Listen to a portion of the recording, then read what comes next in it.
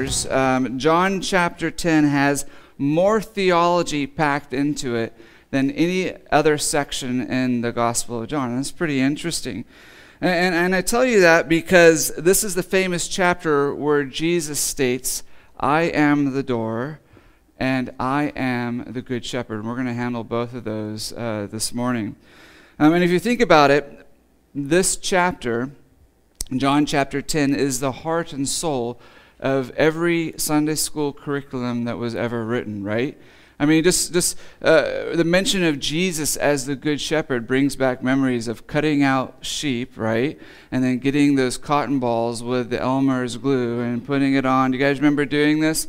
And then you're putting it on the sheep, and that's kind of boring. And then you look over and you see the kid next to you, and you think, they need a cotton ball stuck to them as well, right? And then you start, and then you get in trouble. Now that's probably, but but but that's the beauty of this chapter, right? That's what makes it so awesome. Is it's packed full of theological truth, but it's also written in such a way that a child can understand it and be blessed by it. So let's read John chapter 10, and we're going to read verses 1 to 6 just to get us started off this morning. John chapter 10, verses 1 to 6. Most assuredly, I say to you, he who does not enter the sheepfold by the door, but climbs up some other way, the same is a thief and a robber. But he who enters by the door is the shepherd of the sheep. To him the doorkeeper opens, and the sheep hear his voice, and he calls his own sheep by name and leads them out. And when he brings out his own sheep, he goes before them, and the sheep follow him, for they know his voice. Yet they will by no means follow a stranger, but will flee from him for they did not know the voice of strangers. And Jesus used this illustration, but they did not understand the things which he spoke to them. Let's just go to the Lord in prayer and ask him to help us during this time as we study his word. Heavenly Father, we thank you so much for today, and we thank you for your goodness to us, and we thank you, Lord, for this wonderful weather. Uh, the sun is out, it's shining. Um, everything just looks so uh, wonderful and beautiful. And Lord, when we look at your creation and we we see the sun like that, we, we realize it is a reflection of who you are, your, your beauty, your creativity, uh, uh, your majesty, your strength.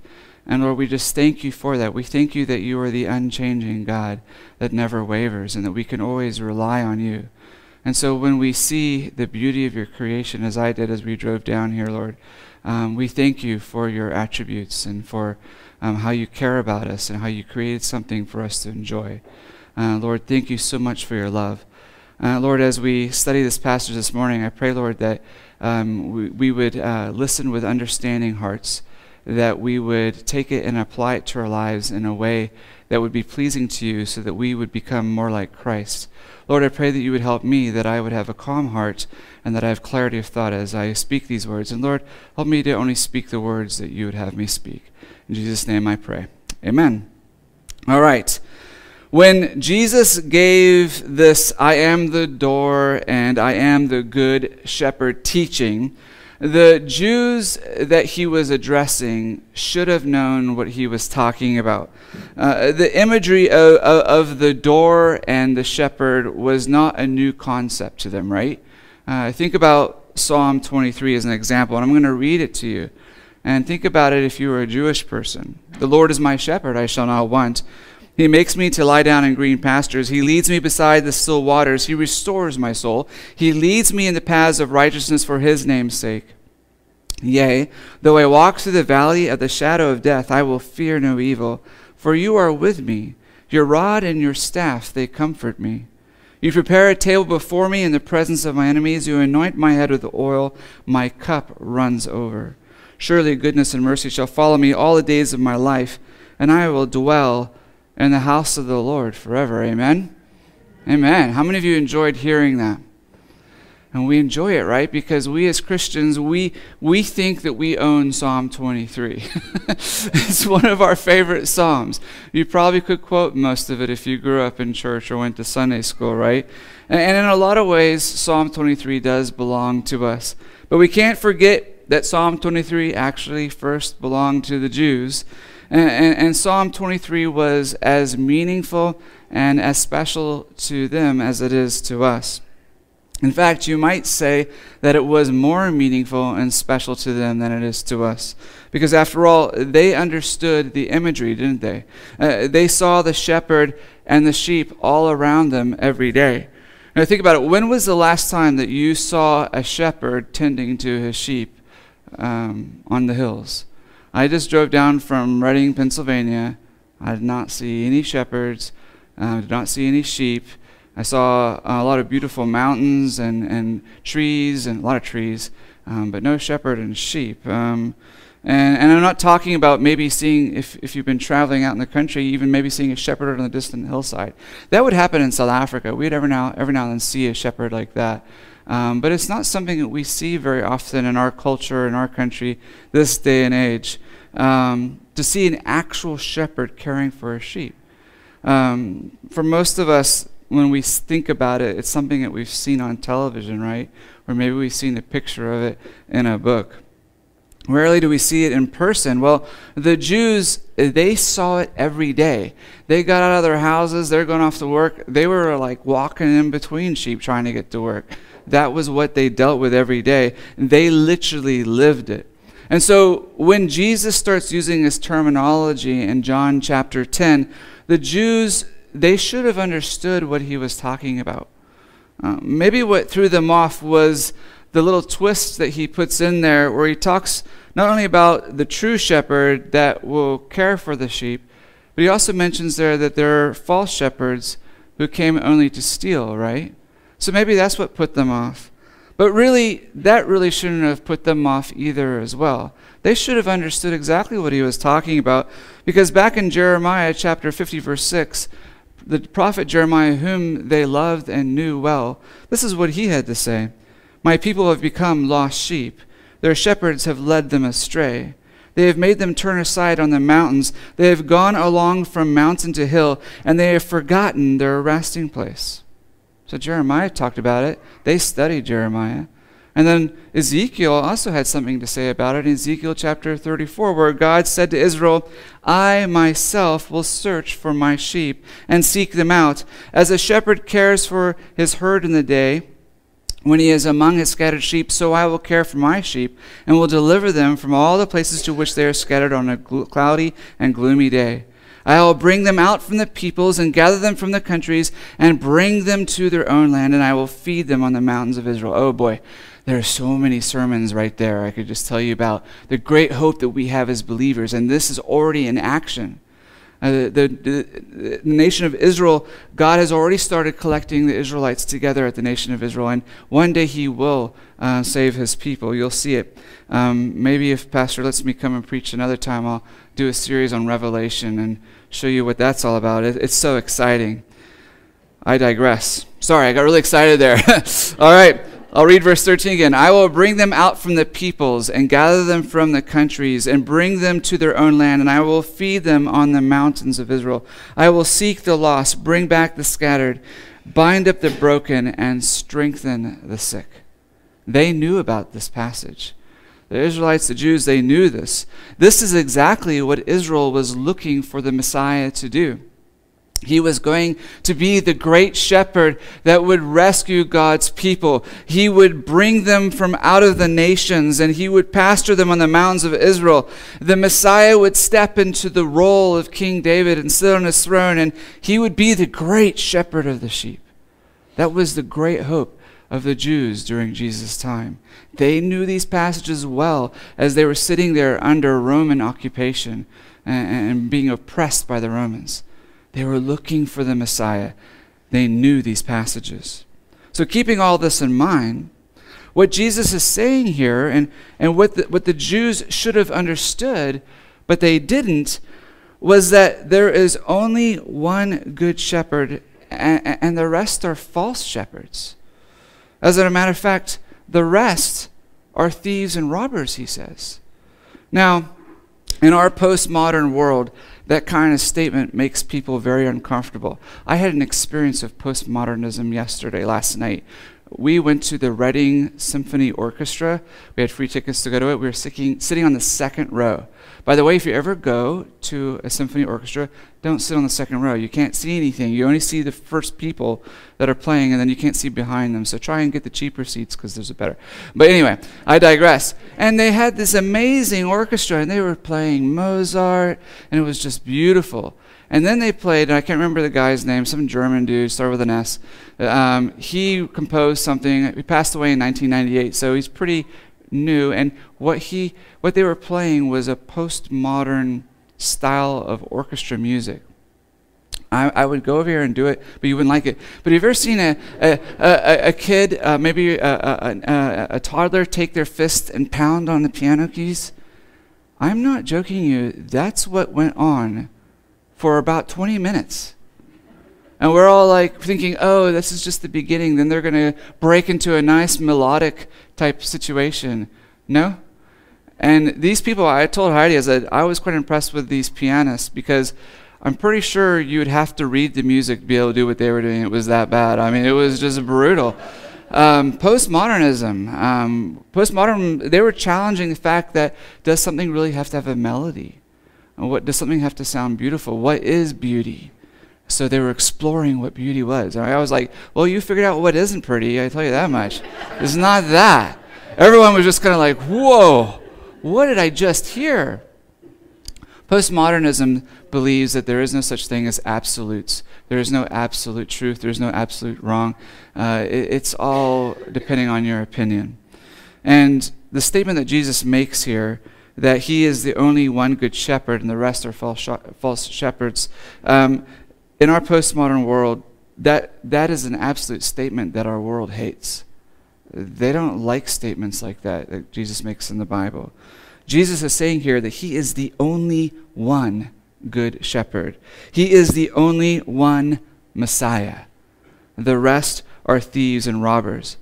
And, and, people do, they get all bent out of shape when they come across these things, or if you take this position when you're witnessing to someone, they don't like to hear it because they don't believe in absolutes. To them, every religious person is a good shepherd, and you just need to find the one that works best for you, right?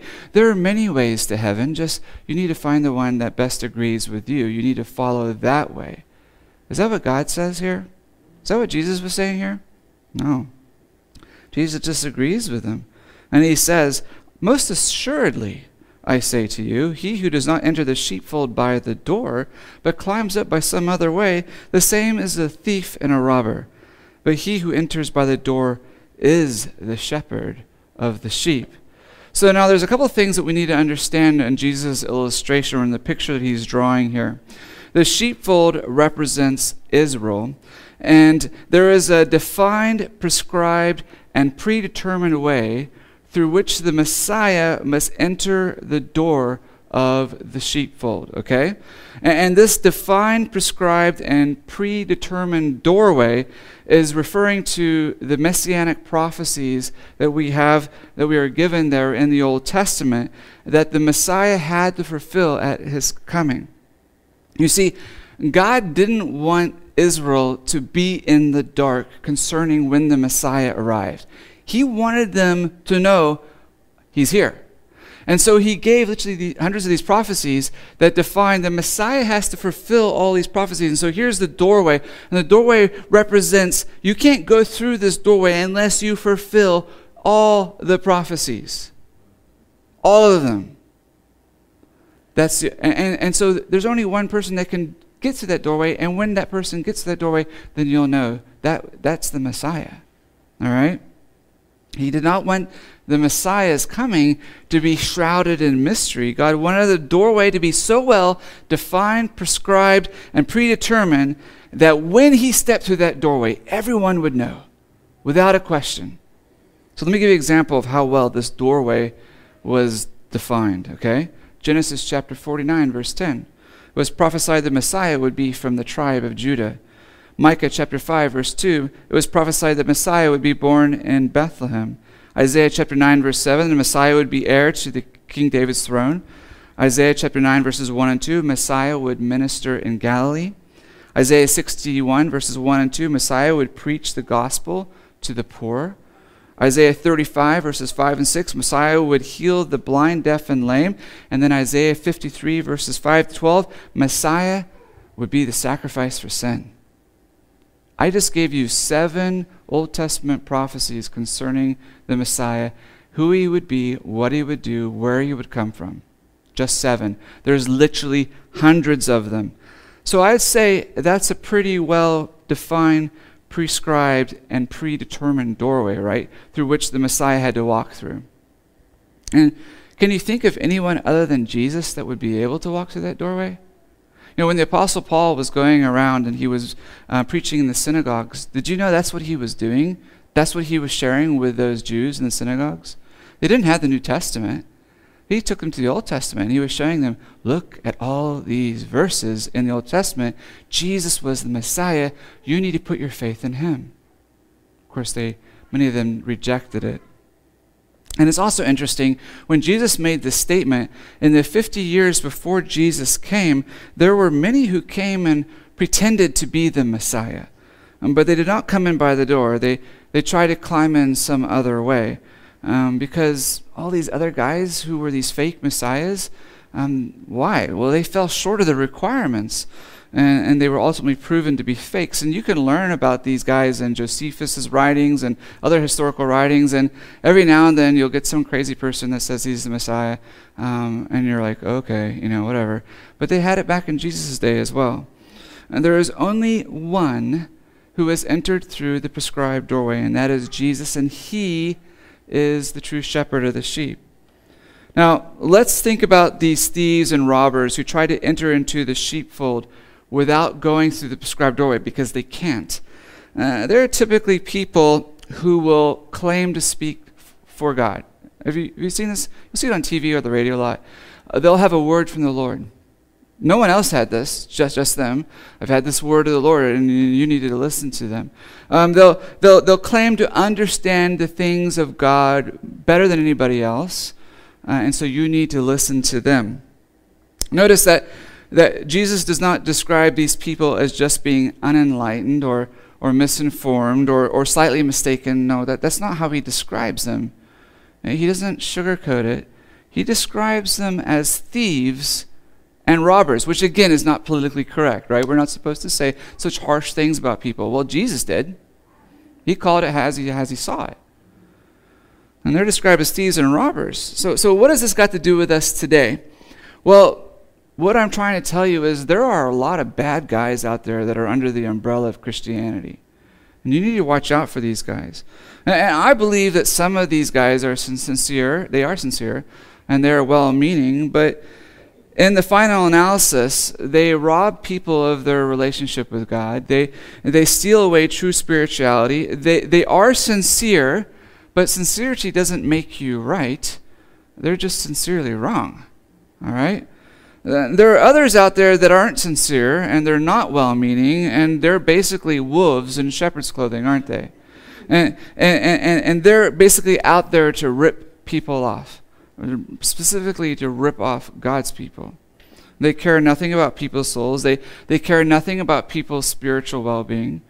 They only, care, they only care about profit and power, and they want more and more and more of it. I'm not going to name names, but just turn on your television. You'll see it. You'll find them if you look long enough. Now, make no mistake, these wolves, they're racking it in. All right? And what Jesus is saying here is don't get ripped off. The true shepherd will enter the sheepfold through the prescribed door. The ones who come over the wall, well, they're thieves and robbers, and you should have nothing to do with them. Now, let's give you an example of how this works in our day and age. There, there are some and I, I, and I apologize if I'm going to step on some toes today. I apologize. I, I'm, leaving in about an hour, and it'll be okay. Um, but there are some you need to know this, especially in this area. There are some that teach that Mary is the co-redeemer along with Jesus, and I believe many of the people who teach this are well-meaning. Uh, I'm not trying to be mean to them. But they teach that Mary is the co-redeemer along with Jesus. Basically, they believe that Jesus can save you just like Mary. Um, sorry, that Mary can save you just like Jesus can. That's what they believe. Um, but the question is, did Mary fulfill all the prophecies that the Messiah had to fulfill? Could Mary walk through that door? Now, in a unique way, she did play a part in Jesus fulfilling some of those prophecies, right? But she never fulfilled any of those prophecies herself. And what's interesting is they try to ascribe to Mary attributes that will make up for this. So they'll say things, well, she remained a virgin. Uh, they'll say that she lived without sin. Um, but the fact of the matter is, none of it is true. None of it is based on Scripture. Um, it's just stuff they made up. And they're misleading people with it. And again, it never makes up for the fact that Mary never walked through the prescribed door. There was only one who could. And that is who we sung about this morning in a wonderful song about Jesus. It was him. So, what does that mean? Those that portray her as co redeemer are what? I'm sorry, Jesus is the one that said it, not me. They're thieves and robbers. Now, you can use all the prophecies uh, that the Messiah had to fulfill, and if you're smart, you'll use it as a litmus test. You, you'll test to see whether the Jesus of the various cults and religions that we have out there is the Jesus of the Bible, is the true Jesus, the, the Messiah. Um, the Jesus of the Roman Catholics, right? The, the Jesus of the Jehovah Witnesses, the Mormons, the, the Jesus of the New Age movement. Their Jesus can't fit through the door. Um, because there are very important aspects about the Messiah that they leave out or they won't give to him. And that's why it's important that you understand what God's definition is of who the Messiah would be. Because he's the one we're placing our faith in, amen? He's the one that died on the cross for our sins. Better get it right. And we can get it right because God's made it so obvious. There's no question. And so that's why it's important that we understand these prophecies. We have, we have to understand the prophecies in the Old Testament so we know what the door was, so we're not fooled by these fake messiahs that, that are all around about us that the cults and false religions push uh, on television, radio, and everywhere else. Um, you don't want the Catholic Church's idea of what the Messiah is. You, you don't want the Jehovah Witnesses or the, or the Mormons or the New Age movement's idea of who the Messiah would be. Um, you want God's truth. Um, you see, the true shepherd enters through the door what do these false shepherds do? They try to climb in some other way, right?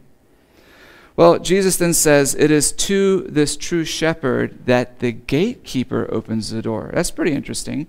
And to understand this passage properly, we have to understand that there are two different types of sheepfolds that were used in that day. And, and the one that Jesus is referring to here in verse 3 was the communal sheepfold. And it would be used um, really more in populated areas very close to the towns and to the cities, the communal sheepfold. The other kind of sheepfold would be a private sheepfold, and that's where the shepherd would be far away from the town or the city, couldn't come back in time, so by, by nighttime, so he would build his own little sheepfold there in the countryside on the hills.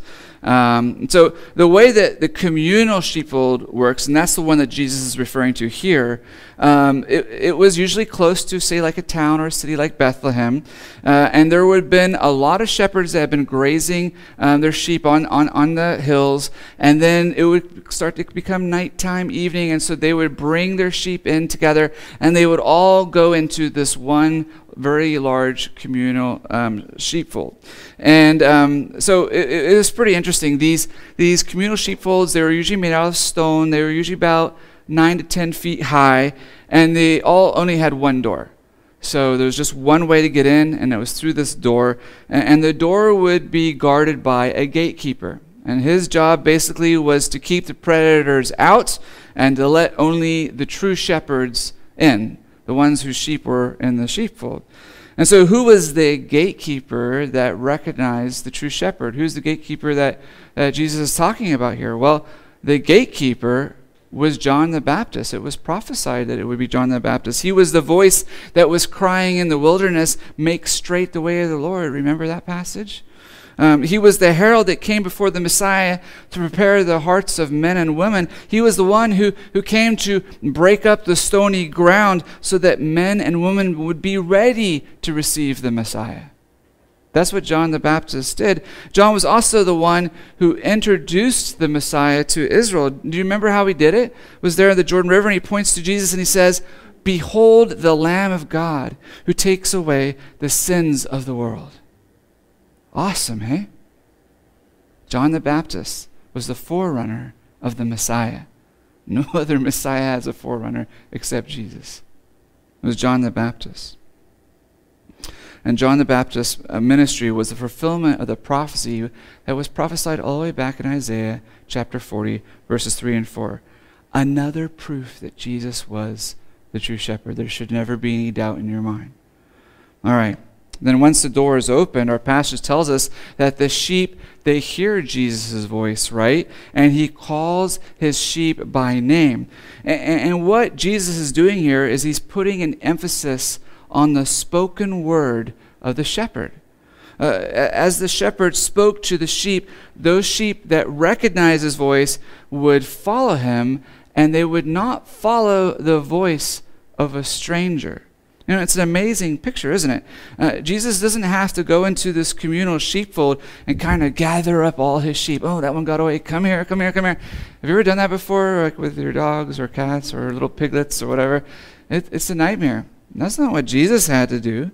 All he has to do, the gatekeeper opens the door and he calls his sheep by name. The sheep recognize his call and he leads them out. It's pretty amazing. You know, I was thinking about this whole call thing and I was thinking about cats and dogs. You know, and um, is there anything that's more humiliating and frustrating than calling a cat? You know, you step out the door, you're like, cat, come here. You know the cat can see you. You know the cat can hear you. The cat's like, whatever, man, I'm busy. Right? A dog. Now, I grew up um, having dogs my whole life. I love dogs. We don't have a dog right now. It's so hard not having a dog, but I don't have a yard, so don't have a dog. But um, in South Africa, we had a dog for protection, and his name was Trooper, and he was a Rhodesian Ridgeback. And Rhodesian Ridgebacks are larger, a little bit smaller than a Great Dane, and they have been bred to hunt lions. So you can see why he kept our family safe because everything else is weaker than a lion, right? Um, so his name is Trooper, and I'd go out into, in the morning and say, Hey, Trooper, come here, Trooper, Trooper. And you could hear him coming like a horse galloping. And you could see his face. Ridgeback smile, by the way, in case you don't know that. They do smile. They have this amazing, cute little smile. And his tongue's this, and he's just coming full speed. And then I realize I'm in trouble because there's no way that dog can slow down in time. And sure enough, he comes flying into me, smack. Almost every time, his whole life, he would almost knock me over. He was just so excited, he couldn't wait to see me. He had heard my voice. Nothing was going to stop that dog from coming to me. All right? Well, that's the case with these sheep that Jesus is calling, right? They hear their shepherd's voice and they come. Maybe not gleefully like like Trooper, but they come nonetheless, right? Uh, there's a there's a few hundred sheep in that sheep pen. Remember, it's a communal sheep pen, and those that are his come out. And essentially, what Jesus is saying to this group of Jews that are that are listening to him is that he had not come to work within their religious worldly systems. That's not why he had come. Uh, he was not coming to work with the Pharisees and the Sadducees rather he had come as a good shepherd to free his sheep from those evil systems, from those false shepherds, because there was no life in them, and he had come to pull them out of it. Jesus was the good shepherd, and he was going to lead his sheep where they ought to go.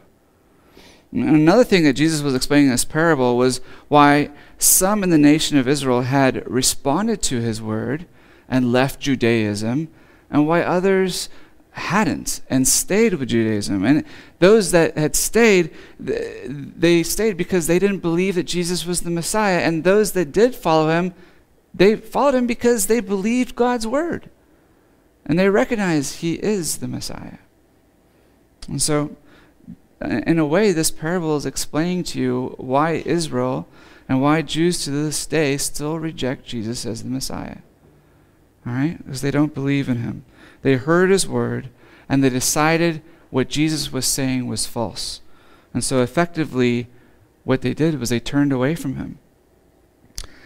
But at the end of the day, their rejection did not show that his word is false. what their rejection is showing is that they were not his sheep. Does that make sense? Because they've heard his call and they're like, I don't hear it. I'm not coming. All right. So Jesus is explaining all this stuff to them, and in verse 6, he tells us they did not understand the things which he spoke to them. And I've already shown you how they should have. They should have. But they were refusing to listen. But that doesn't stop Jesus, amen? So he puts it to them in another way. Look at what Jesus says in verses 7 to 10. Then Jesus says to them again, Most assuredly I say to you, I am the door of the sheep. And whoever comes Whoever came before me are thieves and robbers, but the sheep did not hear them.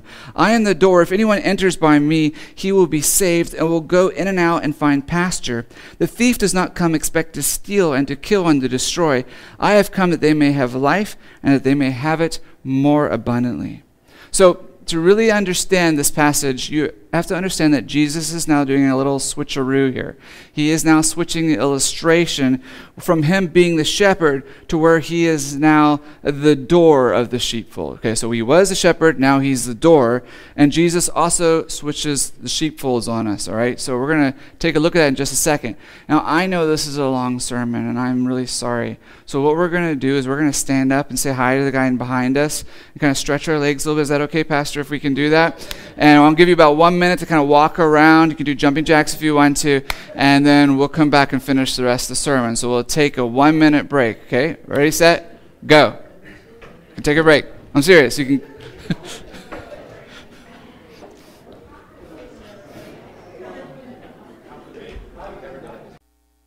Enough Christian love. Let's get together and uh, um, let's get started again. Um, we're carrying on here. Um, we're, we're now at the point where Jesus is switching the illustration, right? Uh, where he was the shepherd, now he is the door of the sheepfold, and he's now switching sheepfolds on us. And remember, we talked about how there are two different types of sheepfolds in Jesus' day the communal sheepfold, which was pictured in verse 3, um, and that houses a number of flocks from um, the shepherds there. And then we have the private sheepfold, um, where the shepherd would build this for his sheep on his own, just for his own sheep, and it would typically be because he was way out in the hills. And so this is the this private sheepfold is now what Jesus is referring to here. Um, and so typically how it would work is during the summer months, things are a little bit drier in Israel. And so you, as a shepherd, you have to go farther and farther out to find fields where you can uh, have your sheep graze. And so um, to find pasture. And so uh, you wouldn't be able to get back to town in time because you're literally be two or three days journey out. And so they would build a temporary sheepfold. Usually it would be, it's pretty small actually. I'd say 21 feet by um, maybe 12 feet. It was small, depending on how many sheep the person would have, the shepherd would have. And they would build the frame out of sticks and, and tree limbs, and then they would fill in all the gaps with these thorny bushes that you can find all over Israel. And it really made a a perfect wall. It would keep pretty much anything out. They were really good at it. But the one thing that's different about the the um, uh, the private sheepfold is that it didn't have a gate like the like the communal one. There was no gate. There was just this opening that allowed one opening that allowed the sheep to go in and out. And there's this classic story about this Old Testament scholar. His name was Dr. George Smith, and uh, I believe this was, if I'm not mistaken, sometime right before the First World War, and he was traveling through Israel and he was checking things out and uh, um, he, he came across uh, one of these sheepfolds and, and, and, knowing the passage that we're studying this morning um, he was really excited to see how the, the, the sheepfold worked and so they got a shepherd and, and he brought in the sheep and, and, and the shepherd told him he was very proud of his sheepfold how nothing was going to get through you know um, the, the sheepfold's walls he had made them so well and then dr smith asked him well I see that. You did a good job making the walls, but there's no door. What's going to stop the sheep from getting out? What's going to stop predators from getting in? And the shepherd said, I am the door. When, when the sheep are inside, I make my bed across the opening, and nothing can get in or out without it going over or through me, and I'll keep them safe. Isn't that interesting? And when Dr. Smith heard that, he knew exactly what Jesus was talking about in our passage we're reading this morning. And Jesus is saying here that he is the living door. If you're going to get into the sheepfold, if you're going to be uh, become a child of God, if, if you want to get to heaven, you have to go through Him. He's the only way. And God makes no allowance for any other ways. He makes no allowance for other messiahs or other religious systems. Now, we need to slow down here. I need to ask you a question, I need you to think about this at least. Either Jesus is right about this or he's wrong about this. Think about it. He's either right or he's wrong. There, there's no in between. We can't just say, well, you know, Jesus was a really good teacher. He was an amazing prophet. He was a, an enlightened individual. You can't say that with Jesus making claims like this. He just wasn't another dude, or maybe he was, but if he was another dude, then he couldn't make these claims. No, either Jesus is right or he's wrong about this. Either he is the only way to God, or there are other ways to God. And you have to decide are you going to believe Jesus or are you going to reject what he is saying here? And Jesus is saying he's the only way. It's a big deal. And if Jesus is right, then verse 10 is of utmost importance. Listen carefully to what he says. The thief does not come except to steal and to kill and to destroy. I have come that they may have life and that they may have it more abundantly. I, I find it's interesting that Jesus didn't say, I have come that you might have religion to the max, or that you might have enlightenment, or that you might have, as I've heard some say, a God consciousness. okay? That's not what Jesus said. He said he came to give us life and to give us that life more abundantly, right? And, and that's the issue, isn't it? That's what you want. That's what we want. We want new life. We, we want eternal life. We, we want abundant life. That's what everyone is looking for, if you can get them to be honest. Now, the world will say, well, all you need to do is you need to buy into our system. You need to climb uh, our ladder. You need to be financially and socially acceptable and successful and, and, and have uh, lots of friends and lots of money and just own all this stuff because when you get to the top, psh, then you have life. Then you have life abundantly. Hmm. Is that true? Well, does the career ladder equal more life? I've talked to people who have climbed the career ladder, and that's not what they said. Does more stuff equal more life? No, it doesn't. Does a vibrant social life equal more life? I know teenagers are so concerned with their social life. Does everyone like me? Does that mean you have more life? No. Now, there are plenty of people out there that have all the world can offer them. And are they fulfilled? Are they happy? Uh, do they have life? Of course, you guys are answering it. No, they, they don't. Um, they're, in fact, they're actually quite miserable. They're quite stressed out. They're quite unfulfilled. And Jesus says, I have come to give you abundant life. So, doesn't it sometimes make you feel like, boy, I'm an idiot? For buying into the world system and chasing all these other things instead of listening to God's word, why he came. It's amazing, isn't it? Next, Jesus says in verse 11, I am the good shepherd. The good shepherd gives his life for a sheep. You see, Jesus could give his life for the sheep because he is the good shepherd, right? We talked about this. He would provide himself as a substitutionary sacrifice for his sheep.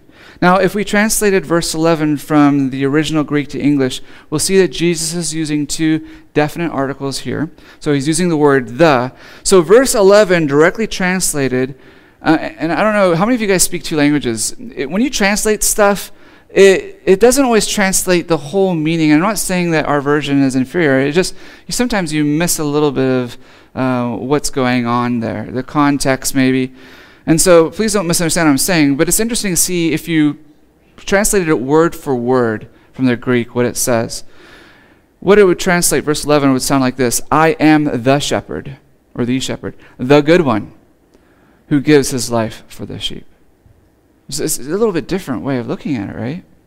It's emphasizing who he is.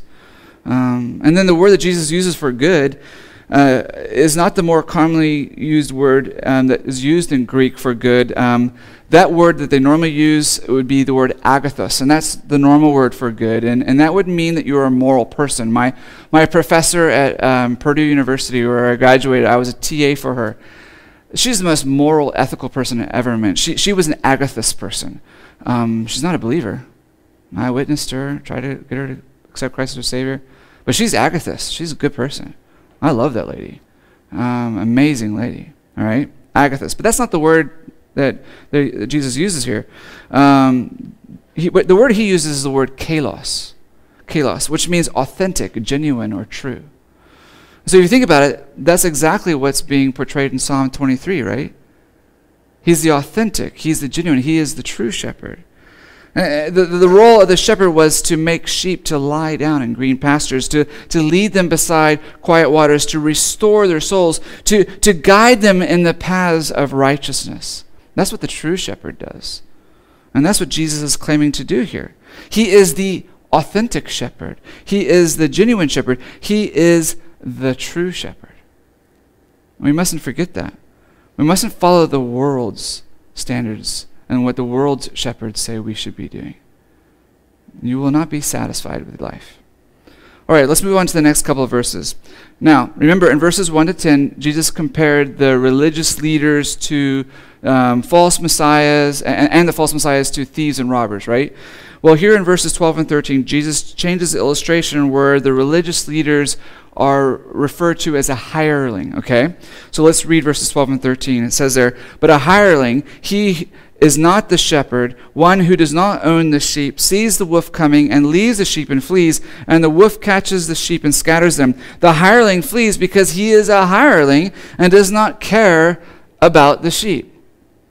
So, hireling, what are they? Well, they're not real shepherds. They, they, they don't have ownership of the sheep. Ultimately, they don't care about the sheep. What they really are trying to do is what can they get from the sheep? They're not doing anything for the sheep. They just want to get what they can get from the sheep, right?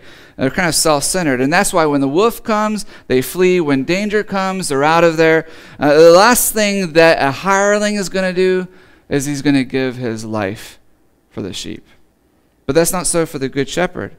In verses 14 and 15, Jesus tells us, I am the good shepherd, and I know my sheep and am known by my own, and the Father knows me, even so I know the Father, and I do what? I lay down my life for the sheep.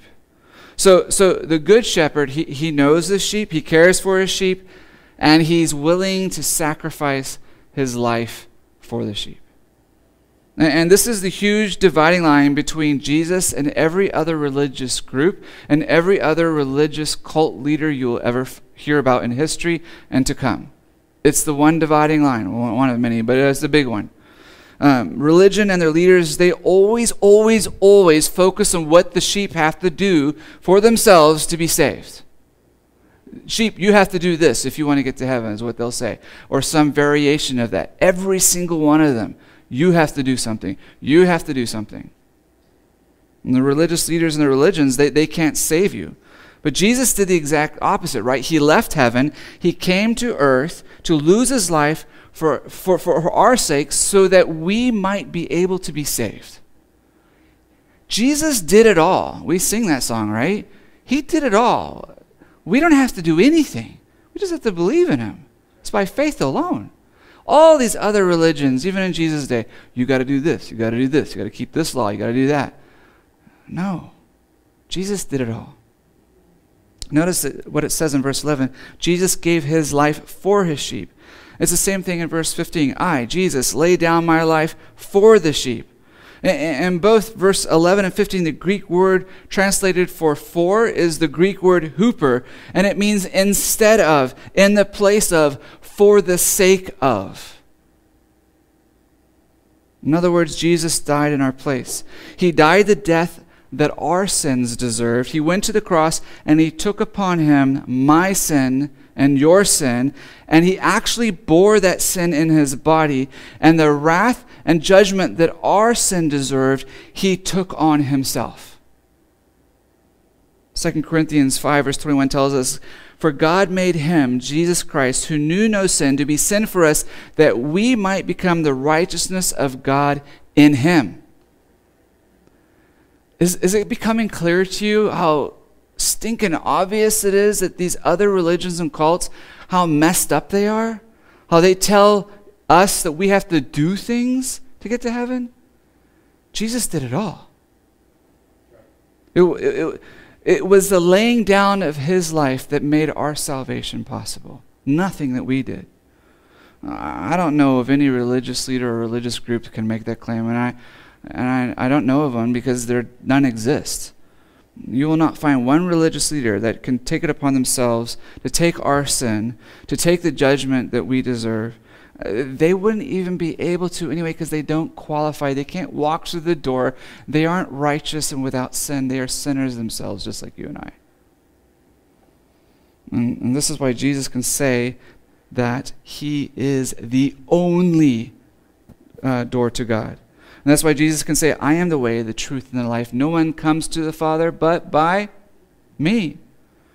And that's why Peter could say in Acts chapter 4, verse 12, Nor is there salvation in any other, for there is no other name under heaven given among men by which we must be saved. Sorry, Mary, you're out. And anybody else. It's only Jesus. There's only one who laid down his life for the sheep. There's only one who was qualified to lay down his life for a sheep, and that is the Good Shepherd. And when we say Good Shepherd, we're talking about Jesus Christ, the Messiah. Well, that being said, so how do we respond to all of this? Um, as the sheep of his pasture, what are we supposed to do? Well, let me give you three things, three things that the Good Shepherd expects from his sheep, and then we'll be done. First, the true shepherd, uh, sorry, the true sheep will listen to the shepherd's voice. And we find that in verses 4 and verse 27, right? See, hearing the voice of the shepherd is absolutely critical for the sheep's survival, and it's critical for our survival as well. We got to hear it. We need to be listening in. We need to be tuning in to the voice of Jesus. And how do we hear the voice of Jesus? By reading the Word of God.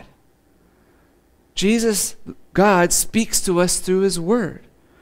And to be honest, we've really made this a lot harder than what it needs to be. We think that hearing God's voice is some airy fairy, sensational, mystical thing. Come on. No, that wasn't it. Uh, no. No. God's word is sufficient. He's given it to us. You need to read it.